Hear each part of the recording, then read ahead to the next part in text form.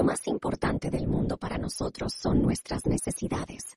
Afectan nuestras opiniones, nuestras actitudes y nuestros puntos de vista. Por lo general, estamos más conscientes de las necesidades insatisfechas que de las satisfechas.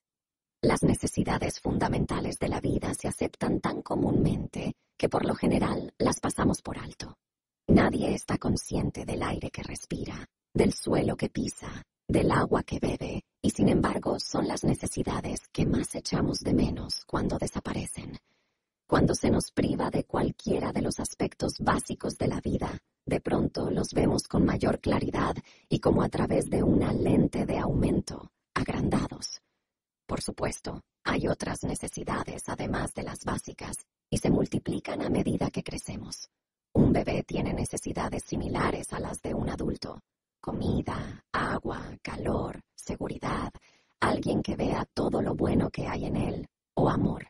A medida que maduramos, la comida, el agua y el calor son cosas que a menudo damos por sentadas, ya que esas necesidades casi siempre se ven satisfechas, en el caso de la mayoría de nosotros. Las necesidades básicas se olvidan cuando aparecen otras necesidades. Una necesidad de amor, de satisfacción sexual y de procrear.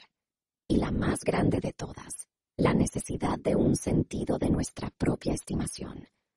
Una necesidad de experimentar agrado hacia la persona que es usted. Como verá, la mayor parte de estas necesidades son emocionales Después vienen las necesidades de las cosas, de ciertas actividades. El dinero es una necesidad. El trabajo, las vocaciones, las ocupaciones menores y las vacaciones, todo ello son necesidades.